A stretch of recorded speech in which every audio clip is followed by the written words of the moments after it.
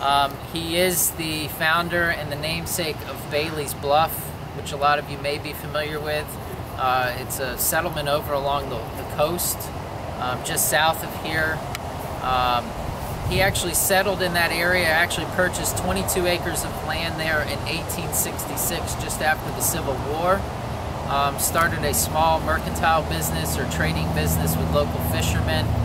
Um, and from that point on, uh, the property sold just after his death in 1877, and it became an actual uh, popular location for the sponge fishermen.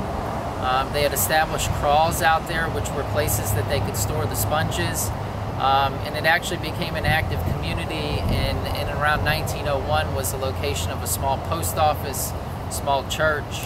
Um, and, and, again, this was a location for the sponge fishermen to come.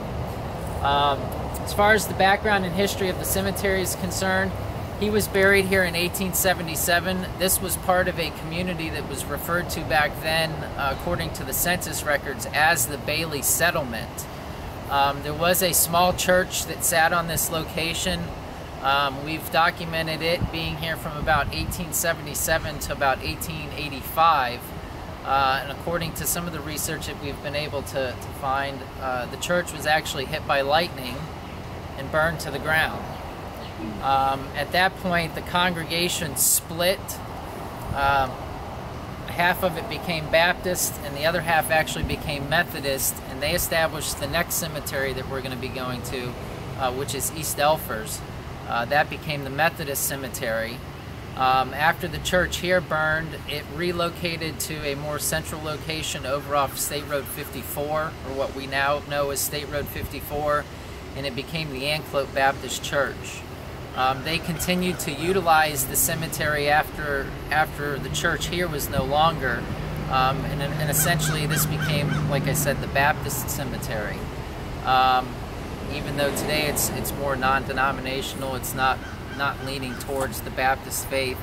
Um, but we do have a lot of pioneers buried out here. Again, Peter Karr Baillie, he is the oldest marked burial, 1877. Um, and then we can take you through and show you a few of the other burials we do have several uh, Confederate veterans that are buried out here as well. Um, uh, Michael Milbauer, he actually acquired this property and a lot of the surrounding area on tax deeds. Um, this was after the Great Depression. A lot of people had uh, difficulties paying their taxes, so he came in and he bought up a lot of land on, on tax deeds. Um, he owned the property, or his family owned the property all the way up until the 1980s.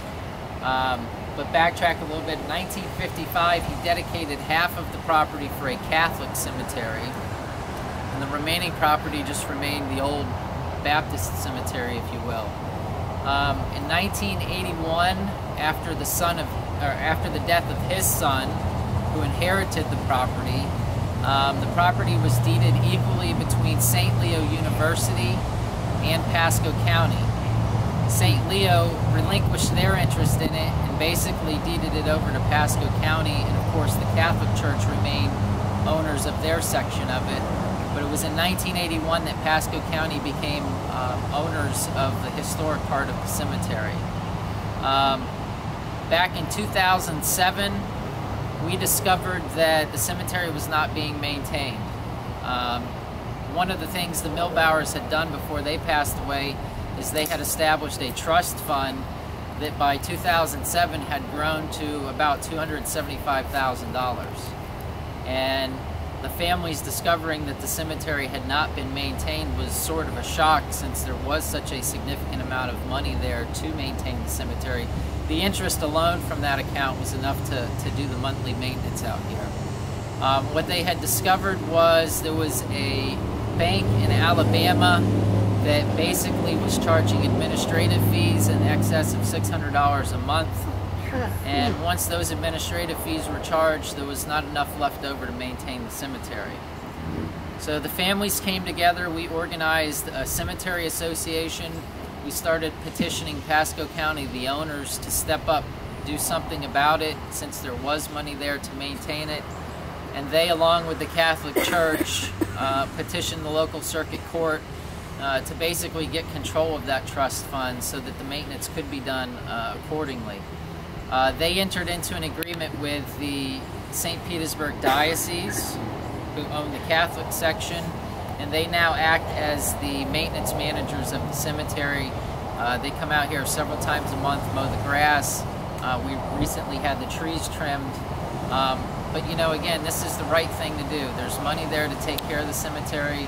This is where our founders are laid to rest, and you know, it's it's not a respectable thing to just let the cemetery go.